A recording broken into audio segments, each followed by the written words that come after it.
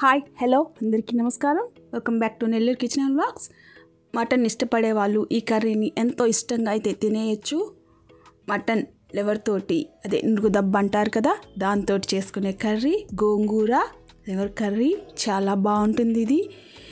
ఇంకా బిర్యానీలోకి వైట్ రైస్లోకి చాలా ఎమ్మీగా ఉంటుంది. హ్యాపీగా తినేయచ్చు లైట్గా ఉంటుంది. ఏం మసాలా అంత హెవీగా లేకుండా దానికోసం అయితే ముందుగా గోంగూరని అయితే తీసేసుకుందాం. ఒక మూడు కట్టలు అయితే గోంగూర తీసుకున్నాను. అది నీట్గా నీళ్ళలో వేసేసి వాష్ చేసేసుకోవాలి రెండు సార్లు. ఒక గిన్నెలో పెట్టేసుకున్న తర్వాత దాంట్లో కారానికి సరిపడా పచ్చిమిర్చి కూడా వేసేసుకుందాం. మనకి ఎంత స్పైస్ కావాలో అంత వేసేసుకుందాం. తర్వాత ఉల్లి తరుగు కూడా యాడ్ చేసేసుకోవాలి. వేసేసుకున్న తర్వాత టమాటా ముక్కలు ఒక రెండు అయితే సరిపోతాయి. అవి కూడా సన్నగా కట్ చేసేసుకొని వేసేసుకుందాం దాంట్లోకి. తర్వాత ఒక హాఫ్ స్పూన్ అయితే పసుపు వేసేసుకుందాం. తర్వాత కొంచెం వాటర్ యాడ్ చేసేసుకొని గోంగూర ఉడికేదానికి సరిపడా వాటర్ వేసుకుందాం. ఎక్కువైతే అవసరం లేదు వాటర్. మరి నీళ్ళు నీళ్ళుగా అయిపోతుంది గోంగూర. అందుకని కొంచెం యాడ్ చేసుకొని స్టవ్ మీద పెట్టేసుకుందాం. అదైతే ఉడికిచ్చేసుకుందాం. పక్కగా తర్వాత మనం తెచ్చుకున్న లేవర్ ఉంది కదా ఆ నురుగు దెబ్బ అంతా నీట్గా కడిగేసుకునేసి ఒకటికి రెండు సార్లు సన్నగా కోసేసుకున్న తర్వాత కడుక్కునేసి కుక్కర్లో పెట్టేసుకుందాం. కుక్కర్లో వేస్తే తొందరగా ఉడికిపోతుంది. ఇంకా ముక్క కూడా చాలా మెత్తగా ఉంటుంది. కడిగేసుకున్న తర్వాత ఈ గోంగూర చూసారా? మధ్య మధ్యలో కలుపుకుందాం. అది కూడా రెడీ అయిపోతుంది. తర్వాత మసాలా కోసం కొంచెం కొబ్బరి తీసుకునేసి సన్నగా తరుక్కునేసి మిక్సీ పట్టేసుకోవాలి. ఉట్టి కొబ్బరిని నీళ్ళు వేసి తర్వాత కుక్కర్లోకి ఆ ముక్కల మీద కొంచెం ఉప్పు పసుపు కారం మనకి టేస్ట్కి సరిపడా కారం అన్నీ యాడ్ చేసేసుకోవాలి. తర్వాత ఒక హాఫ్ స్పూను గరం మసాలా కూడా యాడ్ చేసేసుకుందాం. దాంట్లోకి ఒక స్పూన్ ధనియాల పొడి కూడా యాడ్ చేసేసుకోవాలి. అన్నీ దీంట్లోనే వేసుకుంటే బాగా ముక్కకైతే పడుతుంది బాగుంటుంది. తర్వాత మనం మెత్తగా మిక్సీ చేసి పెట్టుకున్నాం కదా కొబ్బరి.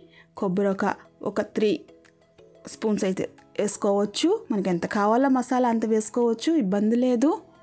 మనకి ఎంత కావాలో అంత మసాలా వేసేసుకొని నేనైతే ఒక ఫోర్ స్పూన్స్ అయితే వేస్తున్నాను. దానికి సరిపడా వేసుకోవాలి. వేసుకున్న తర్వాత అల్లం వెల్లుల్లి పేస్ట్ కూడా యాడ్ చేసేసుకుందాం. ఇప్పుడు మన మసాలాలన్నీ యాడ్ చేసేసినట్టే కర్రీకి కావాల్సినటువన్నీ యాడ్ చేసేసిన తర్వాత వాటర్ దానికి సరిపడా ఉడికే దానికి సరిపడా వాటర్ వేసుకునేసి నురుగు దెబ్బ అంటే ఎక్కువ వాటర్ ఉంటుంది. కాకపోతే ఎక్కువ అవసరం లేదు. అలా కలిపెట్టేసుకుంటే మనకి ఎంత వాటర్ కావాలో తెలిసిపోతుంది. కలిపేసుకున్న తర్వాత మూత పెట్టేసి ఒక ఫైవ్ సిక్స్ విజిల్స్ అయితే కంపల్సరీ రావాలి. మటన్ కదా కొంచెం ఉడకాలి కదా. మన గోంగూర అయితే రెడీ అయిపోయింది. చూసారా ఇలా ఉడికితే సరిపోతుంది. ఇలా నీట్గా ఉడకపెట్టేసుకున్న తర్వాత దింపి పక్కన పెట్టేసుకుందాం. పక్కన పెట్టేసుకుని కుక్కర్ కూడా విజిల్ వచ్చేస్తుంది. మన గోంగూర అయితే రెడీ అయిపోయింది. దాన్ని ముతకంతో నీట్గా ఎనిపేసుకుందాం.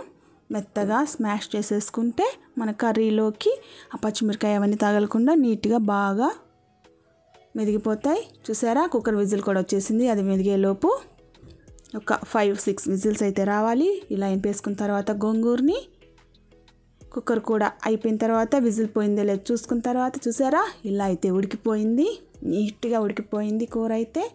దాన్ని తీసేసుకొని ఒకసారి కలిపెట్టేసుకునేసి మనం ముందుగా ఉడికించి పెట్టుకున్న గోంగూరలోకి యాడ్ చేసేసుకుందాం. అంతే మనకి కర్రీ అయితే ఆల్మోస్ట్ రెడీ అయిపోయింది. దానికి తాలింపు వేసేసుకోవడమే. చూసారా? ఈ రెండు కలగలిపేస్తే మనకి మటన్ లివర్ తోటి గోంగూర కర్రీ రెడీ అయిపోతుంది. బాగా ఒకసారి మొత్తం అంతా కలిపేసుకోవాలి. కలిపేసుకున్న తర్వాత ఉప్పు సరి చూసేసుకుందాం ఈ స్టేజ్లో. తర్వాత మనకి ఎంత ఉప్పు కావాలో అంత వేసేసుకుందాం. వేసేసుకునేసి బాగా ఒకసారి కలిపెట్టేసుకుని పక్కన పెట్టేసుకొని తిరగమాత కోసం బాండి తీసేసుకొని దాంట్లోకి సరిపడా ఆయిల్ వేసేసుకుందాం. ఆయిల్లోకి ఆవాలు జీలకర్ర ఒక ఎండుమిర్చి కూడా తుంపుకొని వేసేసుకుందాం. తర్వాత పట్ట చెక్క లవంగం యాలుక్కాయలు కూడా ఒక రెండు వేసేసుకుంటే మంచి వాసన వస్తుంది కూరకి. తర్వాత ఆనియన్ కొంచెం వేసేసుకొని ఆ వేపేటప్పుడే మంచిగా అరోమా వస్తుంది. హ్యాపీగా వేపేసుకున్న తర్వాత ఎర్రగడ్డ బాగా వేగాలి కదా పచ్చి పచ్చిగా ఉంటుంది. లేకపోతే కొంచెం రంగు మారిన తర్వాత కరివేపాకు కూడా యాడ్ చేసేసుకుందాం ఆ తిరగమాతలోకి. ఎర్రగడ్డ అయితే వేగిపోయిన తర్వాత కరివేపాకు యాడ్ చేసేసుకునేసి కొంచెం కొత్తిమీర కూడా యాడ్ చేసేసుకుందాం. కొత్తిమీర కూడా యాడ్ చేసేసుకుంటే ఆ ఆయిల్లో మగ్గిపోయి కర్రీలో కలిసిపోతుంది. ఇలా నీట్గా వేగిన తర్వాత ఈ మిశ్రమాన్ని అంతా కర్రీలోకి కలిపేసుకుందాం. అంతే మన కర్రీ అయితే రెడీ. చూసారా? ఎమ్మీగా తిరగమాత వేయంగానే కొంచెం సేపు అలా స్టవ్ మీద పెట్టేసుకుందాం. అప్పుడు నీట్గా తిరగమాత మసాలా ఆ కర్రీకి గోంగూరకి మొత్తం బాగా కలిసిపోతుంది. కాసేపు కొంచెం ఒక టూ మినిట్స్ అయితే ఉడికితే సరిపోతుంది. మొత్తం రెడీ అయిపోయింది కర్రీ. చూసారా ఎంత కలర్ఫుల్గా ఉందో? ముక్క కూడా బాగా మెత్తగా ఉడికిపోయింది. మీకు ఈ కర్రీ కనుక నచ్చితే ప్లీజ్ లైక్ చేయండి షేర్ చేయండి. మీకు ఎలా కుదిరిందో కామెంట్ అయితే